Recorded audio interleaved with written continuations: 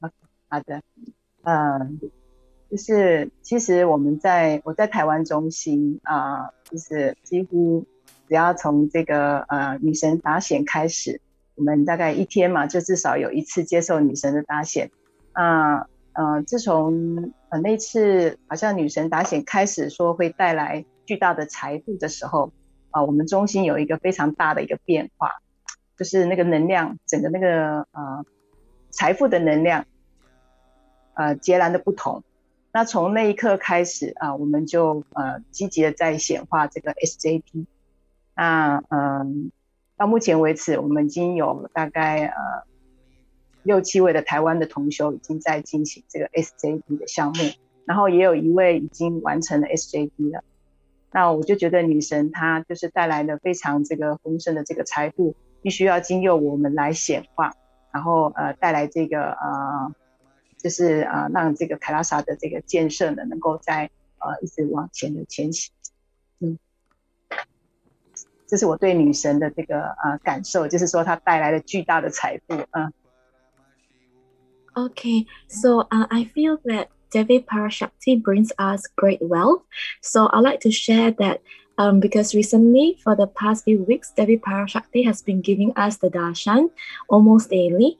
And then um, in our Taiwan center, the the adinam, because because um, we have been we have been received that we have received the blessings from Devi Parashakti that she will bless us with great wealth. And since that day, since she said that, the energy in the Taiwan Center has changed a lot and it's really the energy of wealth. So currently in our center, all of us are, like not all of us, six to seven of us are manifesting SJP, are in the process of manifesting, and one has already manifested SJP. So that's my um, experience with Devi Parashakti, that she gives us great wealth. Yes, Manandini, I also have uh, Adhuda. If you can translate for Manandini, I do have a question for Manandini. You know, she shared about the manifestation of great wealth, and the people in the Taiwan Center are in the path of manifesting Sarvagnyapita Ejaman. Now, what makes them wanting to be Sarvagnyapita Ejaman? Can you ask Manandini what made her take that step or make the decision to become a Sarvagnyapita Ejaman? OK，啊，妈阿南迪尼，所以请问一下呢，是什么？就刚才你所分享的，就是在台湾的中心有很多人现在在想要显化这个 SJP。那请问是什么东西促使他们想要成为 SJP？是什么东西促使你想要成为 SJP 呢？请您分享一下。好的，嗯，因为呢，在跟师傅的学习啊。我们就是感受到，呃，师傅对这个，嗯，地球上面的，就是人类呢，有一个非常大的使命。那我觉得我们可以做的事情，就是去支持师傅去做这样的事情。所以，嗯，其实做 SJP 呢，就是去完成师傅的这个重大的这个，呃，他来让呃复兴印度教这些，嗯，就是嗯使命呐，就是要复兴印度教。那呃，我觉得我们可以做的就是去做到这个 SJP。当然，做 SJP 的时候，其实不单只是这个金钱的供奉，其实事实上是有这个呃灵修的这个意义。那在这个过程当中，其实我们中心的每一位呃同修都有感受到这个呃师傅给我们这个灵修的这个意义到底是什么？那我们一直不断的在圆满，然后一直不断的在这个经历，然后在这个过程当中，师傅也一直在不断的带走我们的这些业力。这让我们体验到非常非常对，就是这样。所以我们为什么想要去经历这个过程？谢谢。好，um, so Ma Anandini was sharing that um, she wanted, she and the rest in the Taiwan Center wanted to manifest SJP because um, Swamiji has a great mission for humanity, which is to revive the Hindu civilization. And so um, they think that they can do their part to help Swamiji in his mission in reviving the Hindu civilization by um, by becoming SJP and donating to the cause. So another reason beyond that will be that there is actually spiritual significance behind this um, SJP, the process of manifesting SJP. So what they realize that all of them realize is that when they are manifesting SJP, they realize that they will see they will see their incompletions and Swamiji will also help them to break through on their incompletions. And so through the process, they will be able to manifest SJP. So therefore, um, this process of manifesting SJP is a process to help them to also have a spiritual breakthrough by breaking through their incompletions. Yes.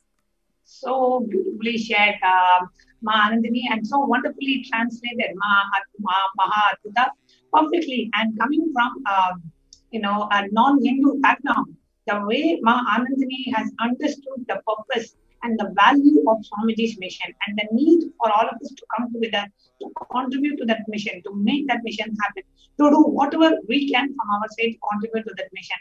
I'm so touched, Ma Mahadbuddha. Please share with Ma. It is so touching um, to know and how much everybody from all over the world and especially from Taiwan and from a completely different culture understanding the need for the revival of the enlightenment ecosystem for the benefit of humanity. It is so, it is so, so, so touching. And thank you so much, Ma Anandini um, and Ma Mahatma, so beautifully shared. And what is it would you like to share with our viewers who are um, yet to experience Devi Parashakti, Akashic reading or who are yet to be called by Devi Parashakti? Is there anything Ma Anandini would like to share with them? 嗯，那安娜妮妮，呃，我觉得你是身为一个非就是新都呃新都教徒呢，就是你从出生的时候哈是非新都教徒，然后我非常的感动，就是你能够明白大师这个想要重建卡拉萨的这个使命，所以我觉得非常非常的就是呃美丽，还有非常非常的就是感动。然后除此之外呢，也非就非常感谢你的分享。然后我还有一个问题要问，就是说，请问你有什么东西就是想与呃正在观看这个女神答显的这些观众们分享吗？有什么关于这个嗯答显的东西，你需要你想要跟大家分享的？OK，好的，嗯。其实每天呢，如果能够来参加这个打显的话，其实我们可以沐浴在这个呃女神的这个慈悲跟爱当中。因为当她每次出来的时候，都是带来非常嗯，就是欢乐的能量给我们。即使现在疫情是这样的情况，但是呢，我们只要看到女神出来，我们就是内由的呃发出这个开心喜悦，然后也接受到她满满的能量。呃，自从我们接受他的祝福之后呢，几乎我们每一天，呃，我们的手上或者身体手背上面都有那个金粉的产生，哦，这个让我们每天都非常的雀跃，嗯，所以我希望就是更多的同修或是呃不认识女神的这些呃其他的朋友们，呃，都可以来加入这个女神的搭线，一定一定也可以感受到她的这个慈悲的爱的能量，啊，甚至可以带来那个巨大的财富，谢谢。Okay, so Ama Anandini would like to share that she thinks that by participating in Devi Parashakti's darshan day on a daily basis, she she feels that she can feel the compassion, great compassion and great love from Devi Parashakti, and it makes her as well as the um, people in the devotees in Taiwan feel that there is a lot of they feel very joyful and a lot of bliss coming from their hearts. And they feel that even though the pandemic is really sweeping you know uh, causing a lot of damage to the world but even in such a situation wherever she sees devi parashakti they are all able to feel um, a lot of bliss and innate happiness and peace and the great compassion.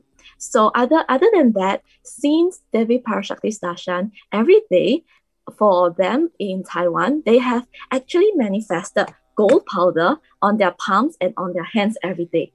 So she also feels like by attending Devi Parashakti's darshan, um, you can manifest a lot of wealth as well. Yes. Wow. Wow. Not just materialization, just in the inner world, which is happiness, bliss, peace, and richness in the outer world in the form of wealth so beautifully shared, Ma Anandini. Thank you so much for coming live and sharing your experience with us. And Ma Maha Adhutananda, you so beautifully translated what Ma Anandini shared. Thank you so much, both of you, for coming live and sharing your experience today. Thank you. Nithyananda. Thank you. Nithyananda.